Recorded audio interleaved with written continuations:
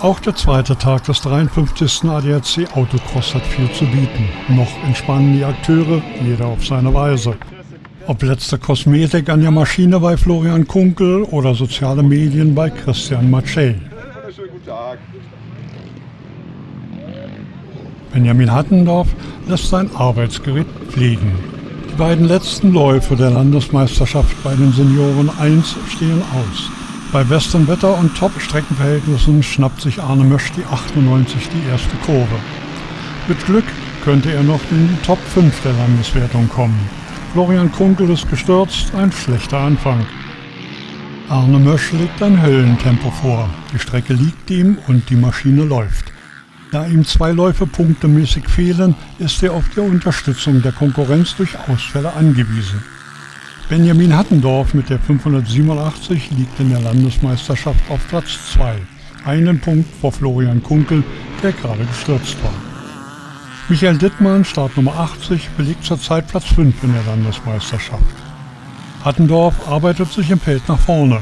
Sieht gut aus für die Vizemeisterschaft. Mösch bügelt die Wellen weg wie nichts, aber kein Konkurrent will ausfallen. Der Führende der Landesmeisterschaft, Macei, gurkt so um Platz 10 herum, aber seine 44 Punkte Vorsprung sind kaum aufzuholen, wenn er denn nicht ausfällt. Also, Ankommen ist angesagt zum Siegen. Und so kommt es dann auch. Sein zehnter Platz reicht, um die Landesmeisterschaft einzufahren. Der Sieg hat Arne Mösch nichts gebracht, keiner ist ausgefallen, er ist immer noch auf der sechsten Position.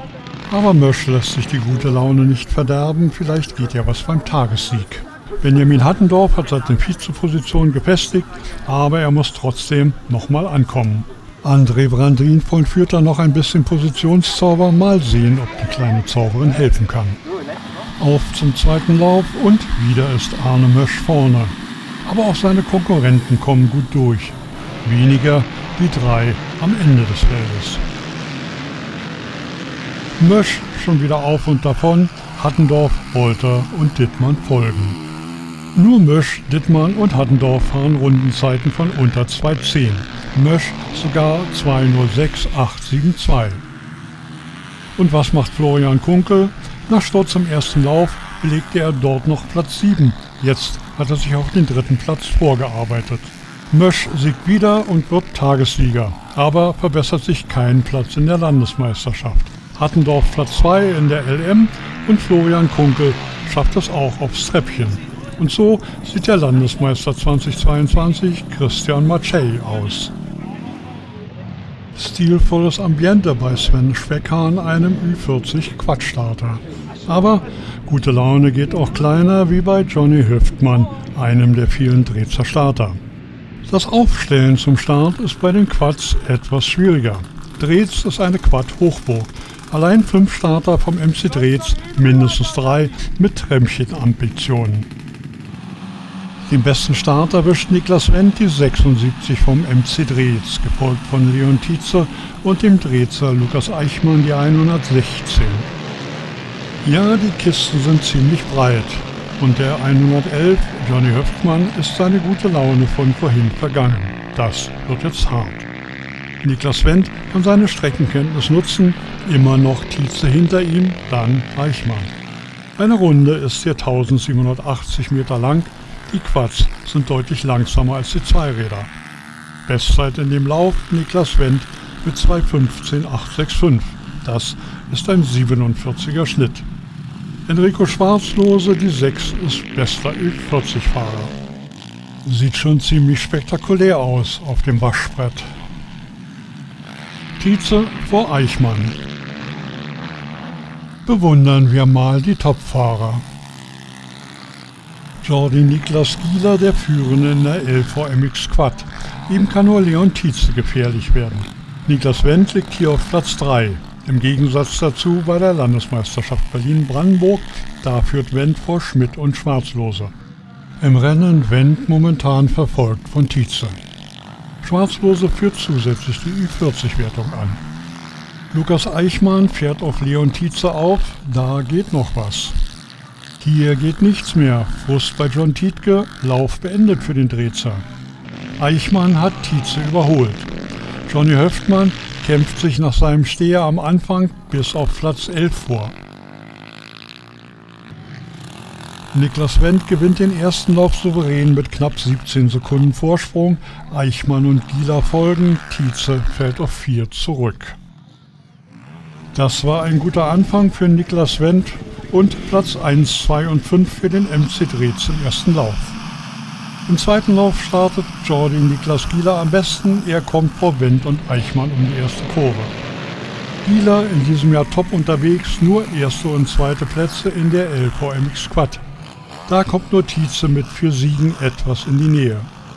Aber hier ist Drehzerland und damit muss er sich mit Niklas Wendt, dem Lokalmatadoren, herumschlagen. Platz 3 wird zwischen Eichmann, Tietze und Schmidt entschieden. 20 Quads sind am Start, 11 bleiben in einer Runde. Wendt kann Gieler nicht halten, bleibt aber in Schlagdistanz. Auch die schönsten Quads können ausfallen, Sven Speckhahn draußen. Dreh war bei dem tollen Wetter sehr gut besucht. Die Zuschauer hatten Spaß am Duell Gieler-Wendt, obwohl die meisten auf einen Sieg des Drehzers hofften. Aber Gieler zeigt keine Schwäche und hält den Abstand konstant. Trotzdem wird der Lauf für den MC Drehz wieder ein Erfolg. Platz 2, 3 und 5 ist ein starkes Ergebnis. Es reicht auch für den Tagessieg von Niklas Wendt, der damit die Landesmeisterschaft Berlin-Brandenburg gewinnt und Platz 3 im LVMX Quad holt. Laufsieger und LVMX Quadmeister ist Jordi Niklas Gieler, der hier ausgiebig geduscht wird. Niklas Wendt freut sich mit Enrico Schwarzlose, der die Ü40-Wertung gewinnt. Sie wollen den DM-Titel Weiß Schneider und sie wollen den Pokalsieg Hengster Jahn, das einzige Mixteam. Peter de Bruyne können theoretisch auch noch Meister werden. Und die lokalen Matadore Engelbrecht Kardatz wollen vorne Spaß haben. Das kann spannend werden, wird es auch. Der beste Start für Peter mit Co. de Bruyne. Dann schon Engelbrecht Karnatz, erst dahinter die führenden Weiß-Schneider. Blank Blume halten Erlige Botur auf, die zweiten im Pokal. Die ersten Kurven sortieren sich alle erstmal ein die ersten drei im Vergleich. Weißschneider fahren deutlich schnellere Zeiten als der Rest des Feldes, 8 bis 9 Sekunden sind es. Obwohl Karnatz Engelbrecht dieses Jahr kaum gefahren sind, halten sie in der Spitze voll mit. Peter de Bruyne können sich nach und nach immer weiter absetzen. Die ersten drei liegen in ihren Rundenzeiten nur knapp über eine Sekunde auseinander. Weiß Schneider haben Engelbrecht Karnatz überholt, da macht sich schon die Rennroutine des Jahres etwas bemerkbar. Patrick Hengster, Selina Jahn sind auf Pokalkurs, obwohl Erlige Botur mittlerweile auf Platz 4 im Lauf liegen. Die Wende im Rennen weiß Schneider mit Problemen und Engelbrecht Karnatz bekommen Platz 2 zurück. Adrian Peter und Niki de Bruyne siegen überlegen, Engelbrecht Karnatz belegen den zweiten Platz. Aber Platz 3 reicht für Benjamin Weiß und Patrick Schneider, um den deutschen Meistertitel einzufahren. Mal sehen, was noch im zweiten Lauf für Engelbrecht Karnatz geht. Fängt ja gut an. Bester Start und Kurve 1 gehören ihnen. Weiß Schneider direkt dahinter. So eine Führung ist doch ganz nett, muss man auskosten, solange es geht. Aber jetzt machen die frisch gebackenen deutschen Meister ernst und gehen innen vorbei. Auch die Teams der zweiten Hälfte zeigen Akrobatisches. Engelbrecht Karnatz spüren die letzten 21 Kilometer noch in den Knochen, es geht nicht mehr ganz so schnell. Weiß Schneider drehen auf und fahren als einzige eine Rundenzeit von unter 2,30. Damit gab es fast sieben Sekunden auf die gewiss nicht langsamen Peter de Bruyne, die noch hinter Engelbrecht Karnatz liegen. Erlicke Votur sind hier wieder bestes Pokalteam. Engelbrecht Karnatz halten immer noch den zweiten Platz. Weißschneider haben jetzt schon einen großen Vorsprung. Peter de Bruyne kommt immer näher an Karnatz Engelbrecht. Hengster Jan innen im tiefen Sand von Drehz. Ein Gespann kann überall mal stecken bleiben, wenn man zu langsam ist. Über 30 Sekunden Vorsprung für Weiß Schneider. Hengster Jan kommen an. Laufsieg für Benjamin Weiß und Patrick Schneider. In der Tageswertung siegen aber Peter de Bruyne. Küsschen für Patrick Hengster von Selina Jahn zum Pokalsieg. Fix und fertig. Tolle Leistung von Sebastian Engelbrecht und John Karnatz.